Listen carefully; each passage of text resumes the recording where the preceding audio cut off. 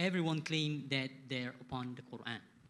But in reality, we see that Al-Muslimun, they have different tafsir of the Quran.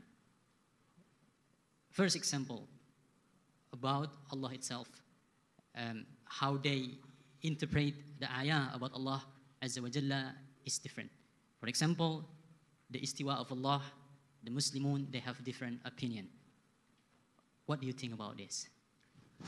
Alhamdulillah, Allah Azza wa Jal has revealed the Quran in the language of the Arabs. Kitabun Arabiyyun Mubin. So it is in Arabic language. And also, part of our aqidah as Ahl Sunnati wal Jama'ah, that we follow the methodology and the way of the Prophet wasalam and of the Salafus Salih. So the companions, the Prophet said عليه الصلاة والسلام خير القرون قرني والذين يلونهم والذين يلونهم The best of generations are the companions, then the tabi'een, then the tabi'i tabi'een. These are the best of the generations that had ever walked on earth. And none of them in these three generations had any difference of opinion when it comes to al-istiwa. So al-Imam Malik, one, the Imam of Dar al-Hijrah, he said, al-istiwa is ma'loom.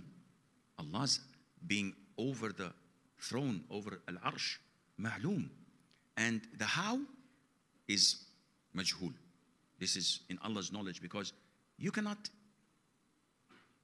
comprehend Allah Azza wa Jal. ليس كمثله شيء. And he said, وَالسُّؤَالُ عَنْهُ بِدْعَةٌ How? How is it done? This is bid'ah. So all the Salaf agreed that Allah Azza wa Jal has attributes. And these attributes are as they are. So when Allah Azza wa Jal says to Iblis, Why did you not prostrate to whom I created with my two hands, not one hand? And one says, No, no, no, Allah doesn't have hands. Are you crazy? Allah mentions this in the Quran. So, no, no, no, we don't believe that Allah has hands because this means that Allah has organs. A'udhu billah. Ya akhi, How dare you speak like this about Allah? He tells you He has hands, we believe. How? I don't know. And Allah says, وَيَبْقَى وَجْهُ رَبِّكَ ذُو الْجَلَالِ وَالْإِكْرَامِ Allah has a face. Allah has eyes. Allah has a hand. Allah has fingers. القلوب بين أصبعين من أصابع الرحمن. The hearts are between two fingers of Allah's fingers. How? This is none of your business. Because ليس كمثله شيء. It is like saying, how? Allah is all hearing, all seeing. How does Allah see things? Allah hears the footsteps of a black ant over the stones in a dark night. Allah sees it and hears it. We don't say how because we believe in it.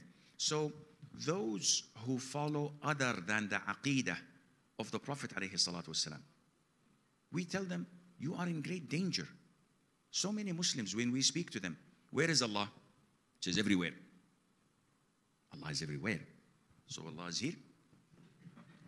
So no, no, no, no, Sheikh, don't, uh, Allah is everywhere. This is not logical. The Prophet said, said to us, alayhi Allah is over and above the whole universe. Ar-Rahmanu ala al-arsh istawa. And paradise, the ceiling of it is al-arsh. And Allah is above the arsh. Allah is above everything. Allah is in the height. وَفِي السَّمَاءِ رِزْقُكُمْ In the height. This is where Allah is, above everything. So you cannot say that Allah is everywhere.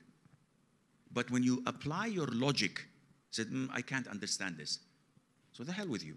You can't understand it. This is your problem, not mine. Allah says to us something, we believe in it. This is the same thing that Satan did. Why didn't you prostrate to what I created with my two hands? He said, mm, Logically, I am better than him. You created me from fire and you created him from clay. So why would I prostrate? This is what Satan used logic. What was his fate? You're in hellfire for eternity. Khalas. Ma'asalama. So I replied to this question again that the Prophet said, my ummah will be divided into 73 sects. all are in hell except one. Which one? Who is following the Prophet ﷺ and the companions. So now these new sects, these new understanding of issues of aqidah that the Prophet never said anything to us about it, and the companions believed it as it is. If you come with a new understanding, you are from the 72. May Allah protect us.